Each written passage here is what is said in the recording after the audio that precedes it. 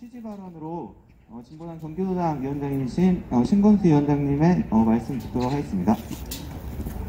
예, 방금 소개받은 진보당 경기도당 위원장 신건수입니다. 오늘 상가 임대료 문제 관련해서 먼저 말씀드리기 전에 어, 요 옆에 피켓이 서 있는데요.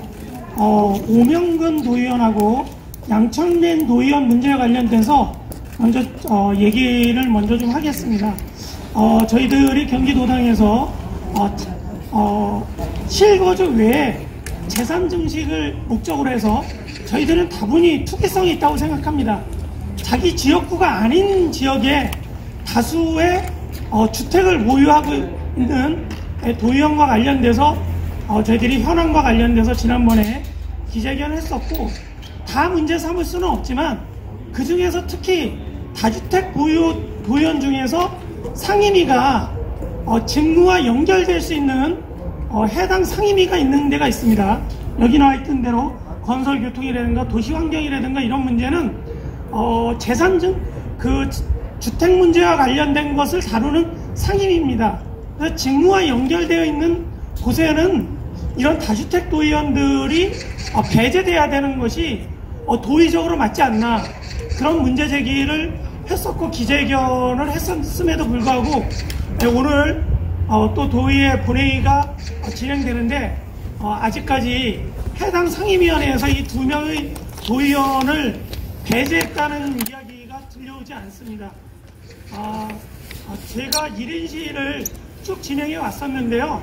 어, 만약에 이거는 도의적인 문제나 정치 도의적으로도 저희는 맞지 않다고 생각하기 때문에 이 두 명의 도의원이 어, 해당 상임위에서 어, 배제될 때까지 어, 어, 1인 시를 비롯한 여러 가지 저희들이 할 수 있는 것을 어, 최대한 다 하려고 합니다. 특히 이두 명의 도의원 두명 다 민주당 소속 아닙니까? 그럼 민주당 소속이고 어, 민주당에서는 대통령부터 도지사까지 해서 다주택 소유의 공직자들 같은 경우는 어, 그 실거주 외의 주택을 어, 즉시 어, 매각할 것을 권- 강력히 권고한 바 있습니다. 경기도에서는 4급 이상 공무원들은 올해 말까지 어, 주- 실거주의 주택을 갖다가 매각하지 않으면 내년부터는 인사상 불이익을 주겠다고 도지사가 발표한 것도 있습니다.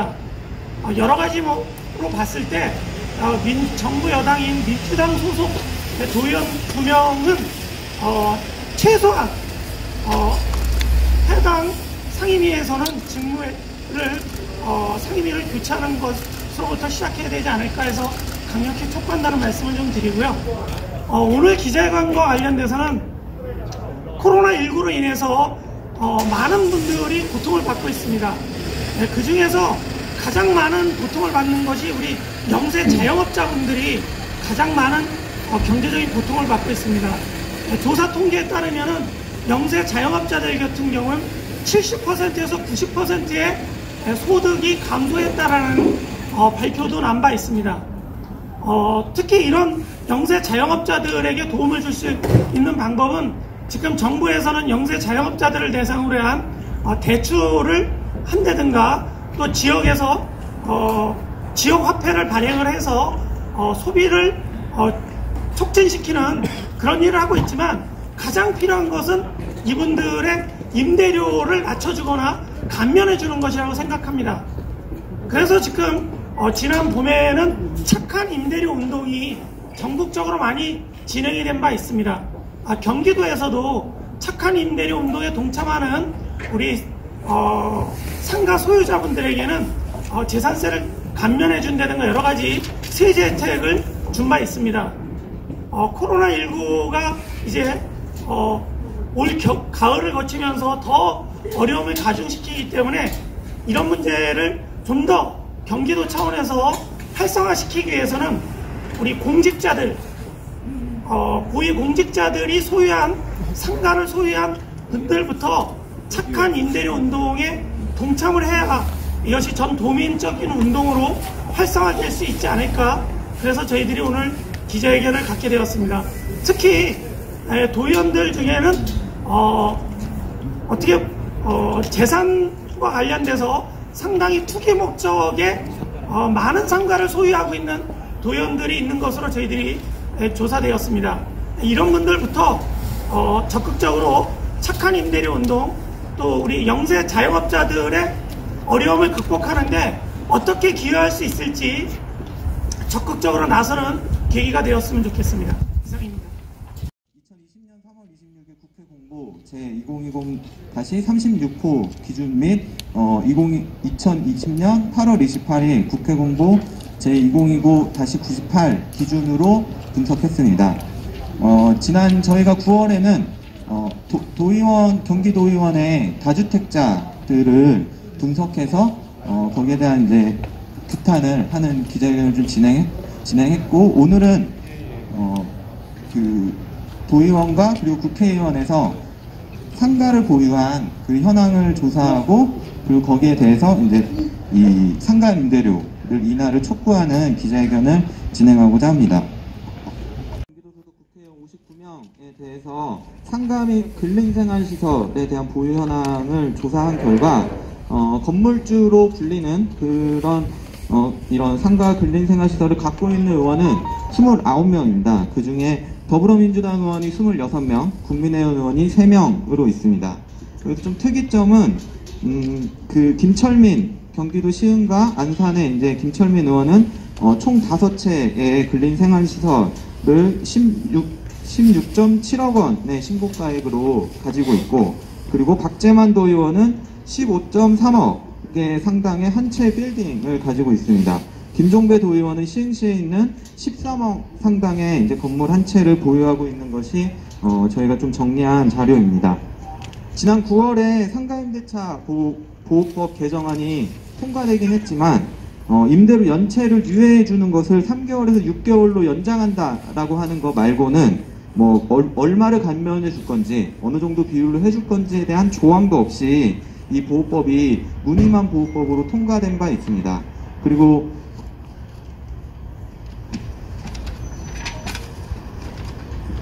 어, 경기도의회에서도 더불어민주당 산하에 어, 을들에게 가해지는 불공정하고 부당한 문제 해결을 위한다는 목표로 한다는 제4기 민생실천특별위원회를 출범한 바 있습니다. 이처럼 지금 코로나가 장, 기적으로 어, 지속되면서 지금 상인, 상인들, 자영업자들은 임대료 문제에 어, 심각한 그 문제를 좀 느끼고 있습니다. 이 임대료를 내, 임대료를 받는 것은 그 건물을 소유하고 있다고만 해서 받는 불로소득입니다. 노동하지 않고 자영업자들은 코로나 때문에 실제 장사가 되지 않아서 어, 않음에도 불구하고 그 꼬박꼬박 임대료를 내야 되는 상황에 지금 이 상생하자고 어, 고통을 같이 분담하자고 하는 것이 이 임대료 인하하는 것이 그렇게 저는 크게 어려운 일은 아니라고 생각을 합니다. 그 정부에서 시작했던 착한 임대료 운동이나 어, 이, 이런 여러 가지 상생을 위한 이런 조치들이 고위공직자들이 먼저 솔선수범해서 자기 건물에서 자기 상가에서 임대료 인하를 임대료 인하를 통해서 고통을 상생하는 어, 그런 그런 어, 행동을 행동에 나설 것을 촉구합니다. 네, 그럼 오늘 준비한 기자회견문을 저희 기자회견문 낭독하겠습니다. 자영업자들은 임대료 때문에 죽어나는데 경기도의원, 경기도 국회의원 29, 29명이 건물주로 임대료 수익, 건물주 경기도의원, 국회의원은 상가 임대료 인하하라. 코로나19 상황으로 최근까지 사회적 거리두기 2단계가 유지되면서 자영업자들의 상황은 날로 악화되고 있다. 코로나로 인해 매출이 줄어들었는데 건물의 임대료는 그대로인 상황에 자, 자영업자들은 폐업으로 내몰고 있다. 소상공인 연합회가 지난 9월 7일 소상공인 3,415명을 대상으로 실시한 코로나19 재확산 이후 소상공인 영향 실태조사 결과에 따르면 응답자들은 사업장 경영 비용 중 가장 부담되는 항목으로 임대료를 69.9%로 가장 높게 뽑았다. 코로나19 시기 자영업자들의 가장 큰 어려움은 임대료 문제이다. 진보당 경기도당은 경기도 다주택자 보유 현황에 이어 경기도의원 141명과 경기도 소속 국회의원 59명에 대해 상가 및 근린생활시설 보유 현황에 대한 추가 조사 작업을 진행하였다. 그 결과 경기도의원과 경기도 소속 국회의원 중에서 상가와 근린생활시설을 갖고 있는 건물주 의원들은 29명이다. 이 중 더불어민주당 의원 26명이 총 51채, 국민의힘 의원 3명이 총 5채의 상가와 근린생활시설을 보유했다. 신고가의 기준으로 김철민 국회의원은 경기도 시흥과 안산의 총 5채의 근린생활시설 16.7억 원을 가지고 있어 신고가액이 가장 큰 것으로 나타났다. 이어 박재만 도의원은 총 15.3억 원 상당의 한 채 빌딩을 가지고 있었다. 김종배 도의원은 시흥시에 13억 상당의 건물 한 채를 보유하고 있다. 9월 24일 상가차, 상가 임대차 보호법 개정안이 통과되었다. 코로나19 같은 1급 감염병 상황 시 임차인에게 임대료 감액 청구권을 부여하고 일방적 임대차 계약 해지 기준인 임대차, 임대료 연체 유예 기간은 현행 3개월에서 6개월로 연장한다는 내용이지만 감액 기준도 비율도 정해지지 않았다는 한계가 존재한다. 민주당은 착한 임대료 운동이나 무늬만 보호법으로 생색내게 하는 것이 아니라 민주당 건물주 의원들이 임대료를 인하하는 직접적인 실천을 보이기 바란다. 코로나19 위기를 상생 극복하도록 진정성 있는 행동을 촉구한다. 특히 지난 9월 경기도의회에서도 더불어민주당 산하의 의들에게 가해지는 불공정하고 부당한 문제를 해결하기 위한 제4기 민생실천 특별위원회를 출범했다. 여기에 포함된 문영근 도의원이 3.5억 상당의 상가를 소유한 건물주인데 솔선수범하여 임대료를 인하할 것을 촉구한다. 자영업자들의 임대료 감면을 위해 고위공직자부터 나서야 한다. 부동산 불로소득은 주택 소유뿐만 아니라 상가 임대료에서도 막대한 이익이 생겨난다. 건물주 고위공직자들은 코로나 위기 속에서도 임대료를 받으며 불로소득을 누리지만 자영업자들은 임대료 때문에 생존의 문제에 직면해 있다.